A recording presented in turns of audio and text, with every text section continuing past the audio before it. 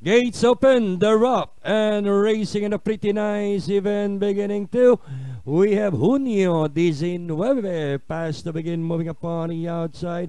We have Pitong Gatang and in third Quincy Jambo is also in there. Then running in fifth we have Himanshi. Miss Rosario comes next. Now back to the leader. We have three runners firing it out for the lead Pitong Gatang. Moving up now on the outside is a Jambo and passing the half mile pole. And it's still Pitong Gatang.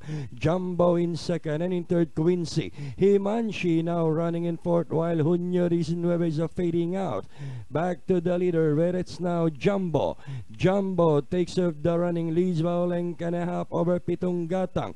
Quincy remains in third and in fourth Himanshi Miss Rosario in fifth as they enter the final home bend. Jambo, Jambo by a length and a half and in second still sa Pitong Gatang. Quincy and Himanshi and down the stretch they come. It is still Jambo leads by about two lengths over Quincy Pitong Gatang and nearing the finish line it's Jambo. Quincy Pitong Gatang Himanshi Miss Rosario